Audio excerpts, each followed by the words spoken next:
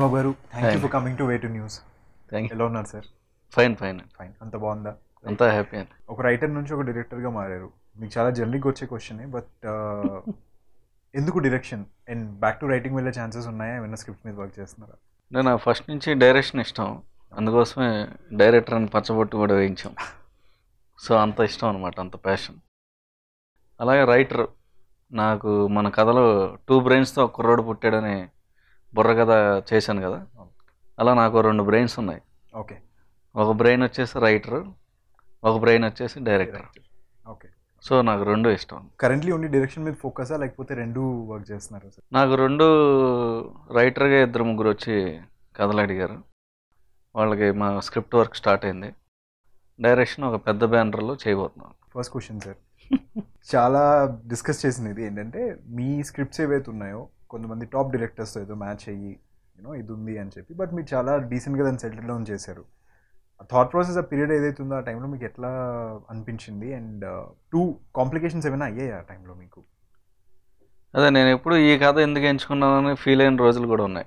ఒక కుర్రోడు రెండు బ్రెయిన్స్తో పుట్టాడు అని చెప్పి ఒక ఐడియాతోటి ఇది న్యూ కాన్సెప్ట్ ఇప్పటివరకు ఎవరికి రాలేదు అనుకున్నాం. అనుకున్న టైంలో సవ్యసాచి అనే సినిమాలో ఒక లెఫ్ట్ హ్యాండ్ మీద అందులో బ్రెయిన్ ఉంటుందని చెప్పేసి వచ్చిందనమాట. అనగానే అక్కడే ఫస్ట్ డిసప్పాయింట్ అయ్యాను. తర్వాత పూరి జగన్నాథ్ గారి సినిమా నిన్న రిలీజ్ అయింది టూ. అందులో ఒక చిప్ అనేది పెట్టారు. కాసేపు ఆ ఆ వ్యక్తిలాగా కాసేపు ఈ వ్యక్తిలాగా. సో ఎందుకు ఇంత మనం అని అనిపించింది నాకు. చక్కగా మనం మనం ఎంటర్టైన్మెంట్ ఇప్పుడు ఈడో రకం ఆడో రకం పిల్ల నువ్వు లేని జీవితం ఇలాంటి మంచి మాస్ మసాలా సినిమాలు చేసాం. అలా రెగ్యులర్గా వెళ్ళిపోయి ఉంటే సరిపోయేదా? మనం అసలు ఎవరికి రాని ఐడియా మనం చేస్తున్నాం అని అనుకుంటే సడన్గా ఈ ఐడియాతో రెండు సినిమాలు వచ్చేసరికి చాలా నేను ప్రెజర్కి లోనయ్యి అసలు ఈ సినిమా ముందు రిలీజ్ అయితే చాలు. అసలు నాకు ఫస్ట్ కాపీ రెడీ అయింది వచ్చి చూడమన్నారు. అని నేను చూడండి అని చెప్పాను. ముందు అసలు రిలీజ్ చేయండి రా బాబు సినిమా. ముందు ఏదో దానిలో ఏదో సమ్ ఐటమ్ ఆడియన్స్ కనెక్ట్ అవుద్ది. నేను అసలు సినిమా ఏం తీశాను అనేది నన్ను నేను చూసుకోవచ్చు.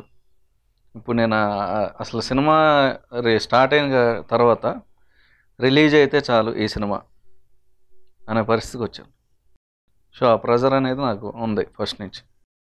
అందుకని నేను అనుకున్న సినిమాని హ్యాపీగా తీయలేకపోయాను. బడ్జెట్ అవ్వచ్చు ప్రెజర్స్ అవ్వచ్చు టైం లేకపోవడం అవ్వచ్చు. ఇస్మార్ట్ శంకర్ కంటే ముందే మనది రావాలి. ఒకవేళ ఇస్మార్ట్ శంకర్ రిలీజ్ అయ్యాక మన సినిమా వచ్చుంటే పూరి జగన్నాథ్ గారి సినిమాని కాపీ కొట్టి ఇతను సినిమా తీసాడని అనొచ్చు.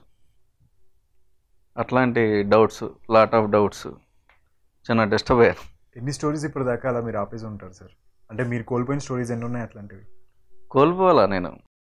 మనం అయితే ఇప్పుడు అచీవ్ అయ్యాం. బుర్ర కథ అనేది మనం ముందే సినిమా Concentrate చేసుకున్నారు కాబట్టి. ఫస్ట్ మందే రిలీజ్ అయింది. సో ఫ్రెష్ థాట్ డైమండ్ రత్నబాబుది. ఒక కుర్రోడు రెండు బ్రెయిన్స్తో పుట్టాడు. అనే ఫ్రెష్ థాట్ డైమండ్ రత్నబాబుది అని అనిపించుకున్నాం ఆడియన్స్ ఆడియన్స్ ఎప్పుడు కూడా కొత్త కాన్సెప్ట్లు ఎప్పుడు లైక్ చేస్తారు. మన సినిమా ఏంటంటే బీసీలకి బాగా కనెక్ట్ అయింది. ఒక మాస్ మూవీ లాగా. ఆడియన్స్కి ఏ సెంటర్స్కి రీచ్ అవ్వాలి? బికాజ్ ఆఫ్ రివ్యూ రైటర్స్ని నేను పెద్దగా మెప్పించలేకపోయాను. ఓకే సో ఈ నెక్స్ట్ టైం ఈ ఏబిసి అవసరమైతే డి లేదా ఏ టు జెడ్ ఎన్ని సెంటర్స్ ఉంటే అన్ని సెంటర్లకి అందరికీ రీచ్ అయ్యేలాగా అందరికీ సెట్ అయ్యేలాగా నాకు నేను ప్రామిస్ చేసుకుంది ఏంటంటే ఇంకా నో స్పూఫ్స్ స్పూఫ్ డైలాగ్ వద్దు. స్పూఫ్ వలన రెఫరెన్స్ సాంగ్స్ కానీ ఆ శ్రీను వైట్ల గారి స్టైల్ ఇందులో అప్లై చేసాం బుర్రగద సినిమాలో. నన్ను చాలామంది తిట్టారు. ఒక కుర్రోడు రెండు బ్రెయిన్స్ పుట్టాడు అనే ఒక ఫ్రెష్ థాట్ తీసుకున్నప్పుడు చక్కగా మీరు కథనే వేసుకోవచ్చు కదా. అప్పుడు నేను మళ్ళీ సినిమాని చూశాను. చూసినప్పుడు అనిపించింది ఏంటంటే ఒక లాగి పెట్టి ఇక్కడ బ్రెయిన్ మీద ఒక వ్యక్తి కొడితే థౌజండ్ ఫ్రేమ్స్లో ఆడు ఎలా పడతాడు? అలా నేను పడితే ఎలా ఫీల్ అవుతానో అలా ఫీలే. అరే ఈ సినిమాలో ఈ సీన్ ఎందుకు తీసావు? ఈ సీన్ ఎందుకు? ఈ సీన్ ఎందుకు? అని ఒక నాకే తెలిసిపోయింది. ఒక పన్నెండు సీన్లు కనుక డిలీట్ చేసి మళ్ళీ బుర్ర కథని రిలీజ్ చేస్తే పెద్ద హిట్ అవుతుంది ఏబీసీలకి రీచ్ అవుతుంది ఏంటంటే మంచి కథ వస్తుంటే మళ్ళీ స్పూఫ్ కామెడీ. మళ్ళీ మంచి కథ వస్తుంది స్పూఫ్ కామెడీ. ఇట్లా నన్ను నేనే ఈ సినిమాకి హీరో నేనే విలన్ నేనే. ఎడిషన్ కానీ డిలిషన్ కానీ ఏదైతే మీరు అంటున్నారో సీన్స్ ఏవైతే ఒక పన్నెండు సీన్లు ఉన్నాయన్నారో దాని మీద వర్క్ చేసి ఓ డిజిటల్ ప్లాట్ఫామ్ మీద కానీ ఎక్కడైనా రిలీజ్ చేసే ఐడియాస్ ఉన్నాయా పోనీ? మన సినిమాలో ఉన్నాయి కదా. మీ చేంజెస్ అన్నారు కదా ఇప్పుడు. ఆ సీన్ ఆ సీన్స్ అన్ని పనిని డిలీట్ చేసి మళ్ళీ బుర్రకథ చూస్తే ఫ్రెష్ సినిమా. ఆ ట్వెల్వ్ సీన్స్ యాడ్ చేయడం వల్ల బుర్రకథ అనే సినిమా ఆడియన్స్కి ఇది ఫ్రెష్ థాట లేదా మా మాస్ మరో మసాలానా? అదా ఇదా అని కన్ఫ్యూజ్ అయిపోయారు. మంచు మనోజ్ know, విష్ణు మంచు ఫ్యామిలీతో మీకున్న కనెక్షన్ ఏంటి? మోస్ట్ ఆఫ్ ద ఫిల్మ్స్ మీవి మీవి ఏవైతే ఉన్నాయో వాళ్ళతో ఉన్నాయి యాక్చువల్లీ కనెక్షన్ ఎట్లాంటిది? బాండింగ్ ఏమైనా ఉందా? ఆర్ లేకపోతే any kind of support mega ఫ్యామిలీతో చేశాను. పిల్ల నువ్వు లేని జీవితం. అవును. అక్కినేని ఫ్యామిలీతో చేశాను నందమూరి ఫ్యామిలీతో చేశాను మంచి ఫ్యామిలీతో ఎక్కువ సినిమాలు చేశాం. అవి బాగా ఆడినాయి. ఈడో రకం ఆడో రకం. మన ఆ, గాయత్రి అనే సినిమా పాండవులు పాండవులు తొమ్మిద. ఇవన్నీ ఆడడం వల్ల అలాగే మంచి ఫ్యామిలీ నన్ను ఎక్కువ లాట్ ఆఫ్ స్టేజెస్ మీద పొగడడం వల్ల ఎక్కువ మీకు మంచి ఫ్యామిలీతో రిజిస్టర్ అయ్యా. యాక్చువల్గా మనది అన్ని ఫ్యామిలీలు. ఇండస్ట్రీలో మీకు క్లోజ్ ఉన్న మెంబర్స్ ఎవరు? ఆర్ లేకపోతే మీ ఫెలో ఫ్రెండ్స్ ఎవరు సార్ నేను బాగా ఇంట్రావర్ట్ లాగా ఇంట్లోనే ఉంటాను ఎక్కువ. ఎవరిని ఎక్కువ కలవను. పబ్స్ కానీ అలా వెళ్ళటం కానీ ఒక ఆఫీస్కి వెళ్ళి కూర్చోవడం కానీ హాయ్ బ్రో అని. ఇప్పుడు బన్నీ గారు రెండు మూడు సార్లు కలిసి ఎప్పుడైనా సరదాగా వస్తూ ఉండొచ్చు కదా అంటూ ఉంటారు. అలా వెళ్ళటం ఇష్టం ఉండదు. వర్క్ ఉంటేనే మనం కలుద్దాం వర్క్ ఉంటేనే మాట్లాడదాం. అట్లా ఎక్కువ ఎక్కువ నాకు బాగా ఇష్టమైన సినిమా.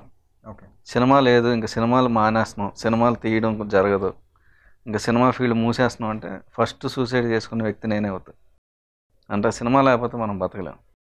కనెక్షన్ మీకు మూవీకి ఎప్పటి నుంచి ఏజ్ నుంచి స్టార్ట్ అయింది సార్? నేను చిన్నప్పటి నుంచి కవిత్వాలు రాయటం హాస్యానంద పత్రికలో జాబ్ చేయడం ఈ సినిమాలు cinema cinema. Tenth class seventh district first pass అయ్యాను. టెన్త్ జార్జి గణేష్లో డీసెంట్ మార్క్స్ వచ్చినాయి. వీడు బాగా మా రిలేటివ్స్ అందరూ వీడు ఐఏఎస్ ఐపీఎస్ అయిపోతారు బాగా చదివేస్తాడని.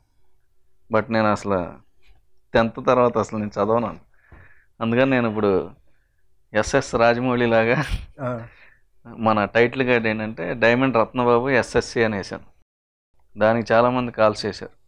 ఏంటన్నా ఎస్ఎస్సి వేసావు? అదేదో ఎంబీఏ లాగా బిఏ లాగా ఎంటెక్ బీటెక్ లాగా ఎస్ఎస్సి వేసావు. చదువు అనేది పెద్ద అడ్డంకి కాదు. అందుకోసం నాలా ఎస్ఎస్సి చదివి చాలామంది వాళ్ళ లైఫ్లో ఏం సాధించలేం. అలాంటి ఏం హోప్స్ పెట్టుకోకుండా అలాంటి డిసప్పాయింట్ అవ్వద్దు. చదువు అనేది ఇక్కడ కొలమానం కాదు.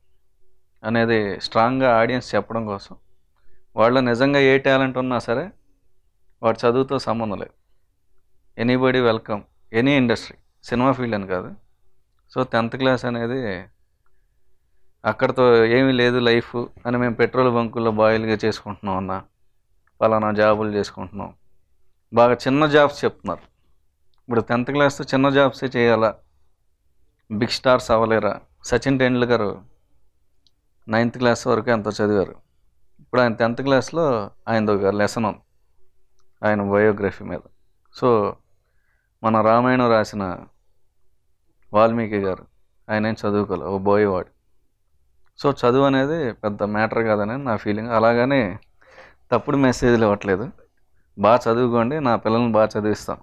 చదువు అనేది ఎప్పుడు అల్టిమేట్ అలాగే చదువు అబ్బని వాళ్ళు చదువుకోలేని పరిస్థితి లేని వాళ్ళు డిసప్పాయింట్ అవ్వద్దు అనేది నా మోటివ్ ఈ మధ్యన ఈ ఐడియాస్ ఏవైతే రెప్లికేట్ అవుతున్నాయనో లేకపోతే యూనో ముందు మ్యాచ్ అవుతున్నాయనో ఇది చాలా దీనిగా అన్ని ఇండస్ట్రీలో మనం చూసింది కదా. మీరు దాంతో ఎలా ట్యాకిల్ చేస్తారు సార్ ఇప్పుడు మీరు ఒక నెక్స్ట్ ఫిల్మ్లో మీరు ఫ్రెష్ థాట్ వచ్చింది.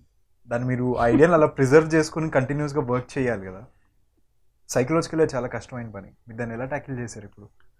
ఈ బుర్రకథ సినిమా టైంలో నా కథ బయటికి అవుట్ అయిపోయింది. సో రెండో సినిమా మనం అసలు బయటికి వెళ్ళకూడదని ఒక కథ రాశా. కథ రాస్తే భీమవరం నుంచి నా ఫ్రెండ్ ఫోన్ చేశాడు. నీ రెండో సబ్జెక్ట్ ఇదంట కదా అనగానే ఒకసారిగా షాకే నా దగ్గర ఉన్న పర్సన్స్కి నేను ఓపెన్గా చెప్తూ ఉంటాను.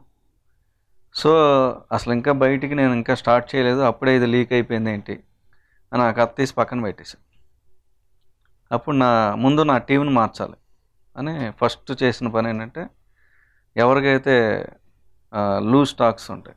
వాళ్ళని తీసేసి మన కథ నెక్స్ట్ ఏదైతే చేస్తున్నామో అది ఎవరికీ తెలియకుండా మనం జాగ్రత్త వహించాలనేది ఇక్కడి నుంచి స్టెప్ బై స్టెప్ స్టార్ట్ చేస్తున్నాం. బట్ లీక్ అనేది మీడియా అనేది బాగా ఫాస్ట్గా ఉంది. నెక్స్ట్ ఏదైనా ప్రాజెక్ట్ మీద వర్క్ చేస్తున్నారా? ఏమైనా షేర్ చేయగలుగుతారా డీటెయిల్స్ అంటే రెండు కాన్సెప్ట్స్ చేస్తున్నాడు ఒకటి హర్రర్ కామెడీ ఒకటి. రెండోది మదర్ ఎమోషన్ ఒక బిచ్చగాడు లాగా బేవచ్చంగా ఏడిపిద్దాం. అప్పట్లో మాతృదేవ భవ చాలామంది ఫీల్ అయ్యారు. ఆ సినిమా చూసి ఏ కంటతడి రాని వాళ్ళు లేరు. సో అలాంటి ఒక కథ. అంటే డైమండ్ రత్నబాబు అంటే ఎంటర్టైన్మెంట్ ఏడో ఈడో రకం పిల్ల నువ్వులేని జీవితం సీమశాస్త్రి పాండవులు పాండవులు తొమ్మిది అన్నీ ఎంటర్టైన్మెంట్ బాగా రాస్తాను మనకుంది.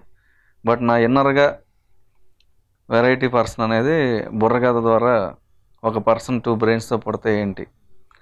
నేను కామెడీ బాగా తెస్తానని అనుకున్నాను. బట్ చాలామంది నాకు ఫోన్ చేసి బుర్రకథ సినిమాలో లాస్ట్ ఫార్టీ మినిట్స్ ఏడిపించేసావు బాగా ఫీల్ అయ్యాం.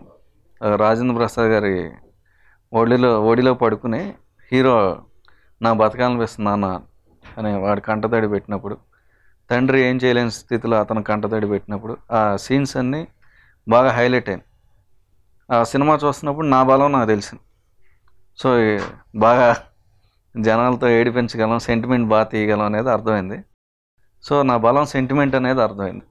సరే ఈ కాంటెక్స్లో క్వశ్చన్ కామెడీ లేకుండా సినిమా తీయగలుగుతామా? సినిమా తీస్తే జనాలు చూస్తారా? అన్నది ఒక జనరిక్ క్వశ్చన్ మాకు ఉంది అంటే చాలా సీరియస్ మూవీస్లో ఎక్కడో చోట క్లైమాక్స్లోకి వచ్చి ఒక చిన్న కామెడీ బిట్ పెట్టి స్పాయిల్ చేసి పోయిన సినిమాలు ఉన్నాయి. మీ థాట్ ఏంటి దాని మీద? బుర్ర కథ సేఫ్ గేమ్ ఆడదామని కామెడీ పెట్టాం. కామెడీ వెళ్ళనైంది ఇప్పుడు. కథ చెప్దాం. అది ఏదైనా వచ్చు కామెడీ కథ అనుకోండి మొత్తం కామెడీ చెప్పండి. లేదు ఒక వెరైటీ ప్రయోగం అయితే ప్రయోగం చెప్పండి. లేదు మంచి కమర్షియల్ సినిమా కమర్షియల్ చెప్పండి. అన్ని మిక్స్డ్ ఉండకూడదు అనేది కామెడీ నాకు ఈ సినిమా మైనస్ అయింది నిజంగా కథ చెప్పుంటే ఈ రోజున చాలా బాగుండేది అనమాట లైఫ్ ఓకే. సో కామెడీ నేను ఎప్పుడు నాకు బాగా అడ్వాంటేజ్ అనుకున్నాను. కామెడీ ఇప్పుడు నాకు మైనస్ అయింది ఓకే. సో అలా ఏం లేదు. ఇప్పుడు ఆడియన్స్ టేస్ట్ ఏం అయిపోయిందంటే జియో ఫోన్ వచ్చిన తర్వాత ఫోన్లో చాలా వాళ్ళకి లాట్ ఆఫ్ ఫన్ దొరుకుతుంది. Jabardasth comedy అవనండి. Twenty twenty matches IPL matches football matches రకరకాల వాళ్ళకి కావాల్సినంత ఎంటర్టైన్మెంట్ ఉంది. వాళ్ళకి ఇప్పుడు ఏం కావాలంటే లైఫ్లు కావాలి. అందుకని ధోని బయోపిక్ హిట్ అయింది. జెర్సీ హిట్ అయింది. ఎమోషనల్ డ్రైవ్స్ బాగా లైక్ చేస్తున్నారు. సో మనం ఎమోషనల్గా వెళ్దాం అనేది ఇప్పుడున్న పేజ్. మళ్ళీ సడన్గా ఎఫ్ టూ పెద్ద హిట్ కామెడీ. అంటే ఒక్కొక్క టైంలో ఒక్కొక్క ఫేజ్ ఉంటుంది. ఇప్పుడు ప్రజెంట్ అంతా phase emotional drive emotional bonding అవి లైక్ చేస్తున్నారు. కానీ ఇన్ని కబుర్లు చెప్పి రేపు పొద్దున ఎవరన్నా ప్రొడ్యూసర్ వచ్చి లేదు సార్ మీరు ఎంటర్టైన్మెంటే స్పెషలిస్ట్ ఎంటర్టైన్మెంటే కావాలన్నారు అనుకోండి మళ్ళీ నేను ఎంటర్టైన్మెంట్ తీయచ్చు. ఇండియాలో బేసిక్గా మనకున్న ఒక ప్రాబ్లం ఏంటంటే ఒకటి ఎవరైనా ఏదైనా చేశారంటే ఒక పది మంది చేయడానికి రెడీ అవుతారు. ఒక హారర్ కామెడీ ఇది అవ్వచ్చు. ఒక టైంలో అది నడిచింది. ఇప్పుడు మీ టైంలో కాదు. ఒక టైంలో హారర్ కామెడీ వాజ్ ట్రెండ్ మొత్తానికి. స్టాండప్ కామెడీ ఒకటి ఉంది. ఒకళ్ళు ఎవరో మొదలుపెట్టి చేస్తున్నారు. పది మంది వంద మంది దూరారు దాంట్లో. ఇప్పుడు ఎవరు చూడడం అనేసారు దాన్ని. ఫాలో అవుతూ వెళ్ళిపోవడం అన్నది మీ దృష్టిలో ఎట్లాంటి ఇంపాక్ట్ క్రియేట్ చేస్తుంది ఇండస్ట్రీకి హ్యాపీ డేస్ సినిమా లాగా హిట్ అవగానే ఏమంటే హ్యాపీ డేస్ లాంటి కథలు ఉన్- ఉన్నాయా అని అప్పుడు కాలేజ్ డేస్ అని ఆ డేస్ ఈ డేస్ అని చాలా కాలేజీ సబ్జెక్ట్స్ వచ్చినాయి. హర్రర్ హిట్ అవగానే వరుస పెట్టి హర్రర్ సినిమాలు వచ్చినాయి. అట్లా చాలామంది చేస్తూ ఉంటారు. బయోపిక్ హిట్ అవగానే వరుస పెట్టి బయోపిక్. ఇట్లా వెళ్తుంది ట్రెండ్. మనం పోర్టుగాళ్ళకి ఎంటర్ అయ్యి ఇది కాదురా బాబు అని ఒక బ్రెయిన్ ఒకటి రెండు బ్రెయిన్స్ అని వచ్చాం. నెక్స్ట్ చేయబోయే కథ కూడా ఒక డిఫరెంట్ కాన్సెప్ట్తో వస్తామని చెప్పి వచ్చాం. బట్ ఏంటంటే మోర్ ఎనర్జీ. మన మోర్ సక్సెస్ వస్తే కొత్త కొత్త కాన్సెప్ట్స్ వస్తాయి. ఓకే. ఆడియన్స్ ఎప్పుడు కూడా కొత్త కాన్సెప్ట్స్ని ఎంకరేజ్ చేస్తున్నారు. ఇంకా నన్ను ఇంకా ఎంకరేజ్ చేయడానికి నేను ఏం చేయాలో చేస్తాను.